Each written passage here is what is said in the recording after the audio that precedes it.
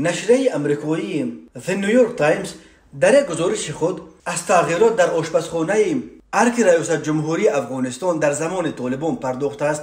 در این مطلب گزارشگر این رسانه معروف هانبیچ با سرآشپز سابق ارک ریاست جمهوری افغانستان همصحبت شده از دیگرگونی ها در نامگوی تاون ها تا به کدام زینه پایین فرامدن منزلت سرآشپز و شکمچرانی حاکمان مختلف این کشور از جمله طالبان نقل کرده است. گفته می شود سرآشپز سابق ارک نصرالله از تاجیکان دره پنشیر بوده این کسب را از پدر و امکی خود به میراث گرفته است.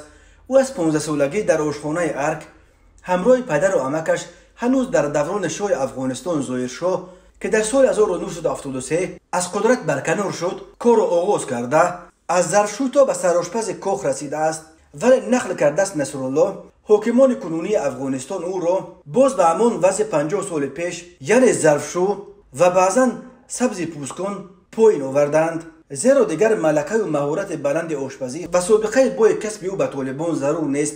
بنا به گفته او دیگر در فهرست غذاهای حاکمان فعلی افغانستان یعنی طالبان از سبزوات و میوجات خبری نیست. چون روبرون طالبان فقط دوست دارند گوشت گوشت گوشت و گوشت بخورند. دیگر هیچ نصرالله می افزاید در گذشته رئیسان جمهوری افغانستان از جمله حمید کرزای و اشرف غنی دوست داشتن بیشتر سبزوات استعمال کنند. اما حکمان فعلی افغانستان که از رستا آمدند فقط گوشت می‌خورند و گوشت می‌خواهند. به این سوال که حالا برای سران طالبان چه تعام ها در کاخ رئیس جمهور تیار می‌کنند نصرالله گفته است که تمام چیزی که طالبان می‌خواهند بخورند گوشت بدون یگان سبزیجات و خورش های دیگر همچنین این سرآشپز از آموده نمودن پلو برای پرزیدنت امریکا جورج بوش که سال 2001 به کابل پایتخت افغانستان اومده بود نقل نموده گفته است حمید کرزای رئیس جمهور وقت گفت که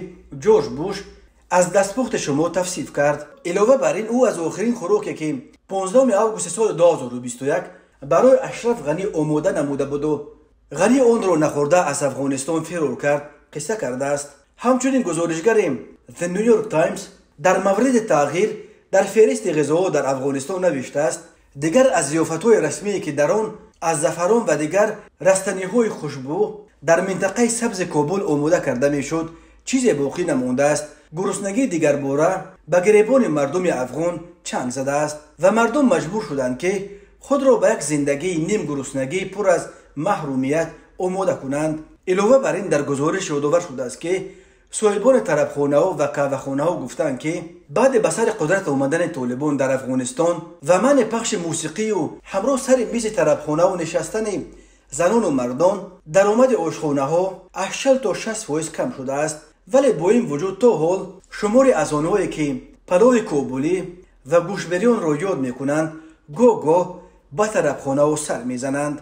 پیش از این نیز بارها رسانه های محلی افغانستان گزارش داده بودند که طالبان در منطقه های گوناگون چروای مردم را به زور از آنها گرفته به نفع خود مصرف می‌کنند. حتی آنها در تویها نیز حاضر شده با بهانه ریایه نکردن چفکات اسلامی های برای میمانان آماده شده را با خود می بردند بعد به سر قدرت آمدن طالبان وضعیت اقتصادی در افغانستان با متوقف شدن کمک های بین المللی و بشردوستانه و فرار سرمایه گذاران از کشور بدتر شد. به گزارش برنامه جهانی غذا حدود 24 میلیون از 32 میلیون اهالی افغانستان به کمک های بشر دوستانه наздик ба 6 миллиони онҳо дар марзи қатъӣ ва гуруснагии шадид қарор гирифтанд